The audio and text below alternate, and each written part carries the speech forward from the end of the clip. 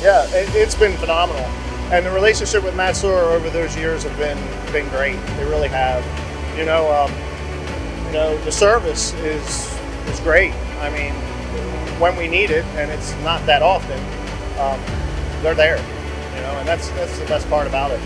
Um, you can buy the best machine in the world, but it, I mean, everything breaks. Every, you know, nothing's perfect, and uh, you know, we put a good service team behind it, and it's it's invaluable. It really is.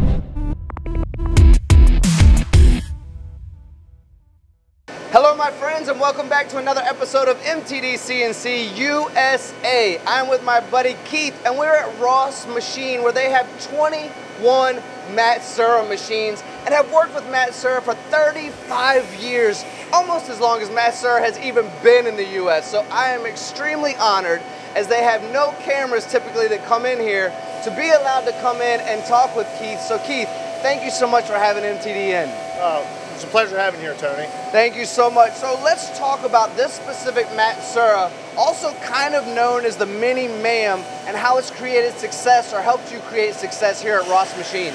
Well, it's just a great machine. It's uh, very productive in a small footprint, and um, it allows us to run lights out, and um, we can do work during the day uh, while we're doing setups, and let it run at night while no one's here. It's uh, another machine that was that helped us move into lights out machining and, and reduce our work staff to one shift. That's amazing. That's honestly amazing. So we're talking about a smaller footprint, but has the ability to do what a larger MAM can do, which is you know incredibly popular in our industry. And we're looking at 42 pallets, 338 tools, and one of the highest precision machines out there. Yep. Yeah, you know, obviously the work size is limited to a 6.3 diameter, an inch, and uh, the height is somewhere around five or six inches. Um, but that fits the footprint of most of, or the work size, the work size of every part that we do in our in our shop. And we have other machines that can accommodate larger, you know, work pieces as well. Well, with 21 Matsuuras, I'm sure that you do, but working with this one and that smaller footprint, you guys fight for real estate because you have so many machines in this space. So having the ability to put a lot of work on this machine and the smaller footprint has really been helpful.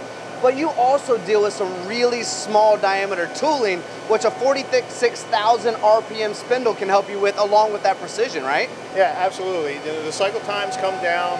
Uh, you know, you're, you're, you're, making the best use of your tooling. And, um, and you know, once you get down, your, your surface speed goes way up in the small diameters, and uh, a lot of machines don't get up that high in RPM, and we, we need the 46,000 uh, to, to achieve competitive cycle times. Yeah, we're all fighting for that, and with uh, with the skills gap being what it is, and trying to find quality people, I know you you grow them in house here, and it's important that they understand how you work here and the quality of machines. Yeah. So really well done with that. You mentioned something that I want to go back to in your first statement, where you were running three shifts, but yeah having the inclusion of these machines that kind of run themselves almost, once you set them up with 42 pallets, 338 tools, you were able to reduce one of your shifts, so no more third shifts, but you were able to keep all of your employees and still get out the same amount of parts. That's correct. We, uh, when, we, when we buy the machines, we spec them with tool breakage detection and probes. And we actually add on uh, aftermarket machine monitoring.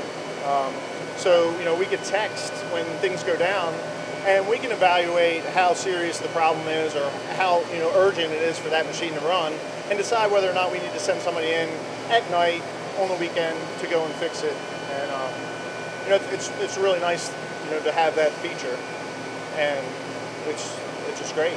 Yeah, absolutely correct. Now, I know one of the incredible benefits of Matsuura is the fact that you can run this right now. It's running all of its parts you have pallets set up to run obviously throughout the week and the weekend. What industries do you work in that require you to have such precision and such a need to have so many parts going out the door running more or less three shifts or 24 hours a day, seven days a week, lights out machining? Well, most of the time it's not really, you know, the companies that we're doing work for, but it's the demand and the delivery.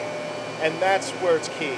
Uh, the precision, obviously, everybody wants precision, but everybody's really dependent on delivery and, end price. So kind of they want all three sides of the triangle. Keith, thank you so much for sharing this story. I know our audience loves to hear the transparency and the authenticity that comes from folks like yourself and Ross Machine.